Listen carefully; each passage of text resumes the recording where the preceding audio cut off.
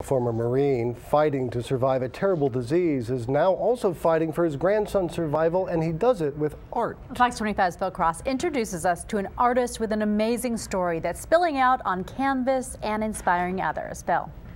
He volunteered to fight for the freedom of others, but now a disease has taken much of his own freedom, though it has not taken his spirit of survival and not stopped Mike Simmons from finding a way to fight back.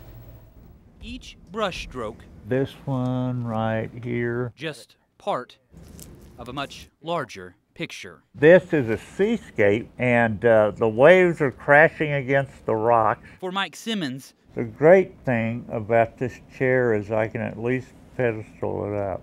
The larger picture includes much more than a wheelchair. Last year in October, I just finally decided that if I was going to do it, I'd better get to it because I was down to one arm and my uh, thumb and index finger here. Multiple sclerosis claimed much of this former Marine's mobility, but it could not take his passion. Some days painting is a very, very big challenge because some days with my uh, disease,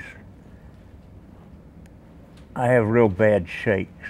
What started as a return to his passion for painting would soon become something much more. It has a calming effect on me, but ultimately I know I'm also doing this for my uh, grandson. Anderson Smith was born without a fully developed heart. He's already had one open heart surgery and needs another. I kept trying to figure out what could I do to help out. That's when Mike realized his palette, his passion, his art could help Anderson. Giving back to his grandson is the most important thing to him, leaving a little bit of a legacy for him, and I think that's very important.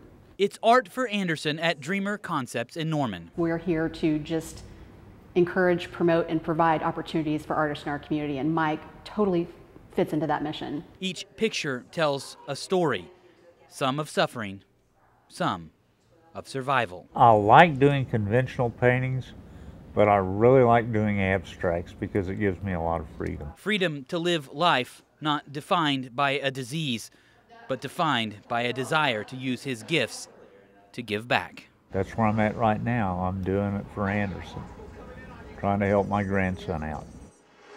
Mike says he is only able to paint thanks to the help and support of the activity and arts staff at the Norman Veterans Center.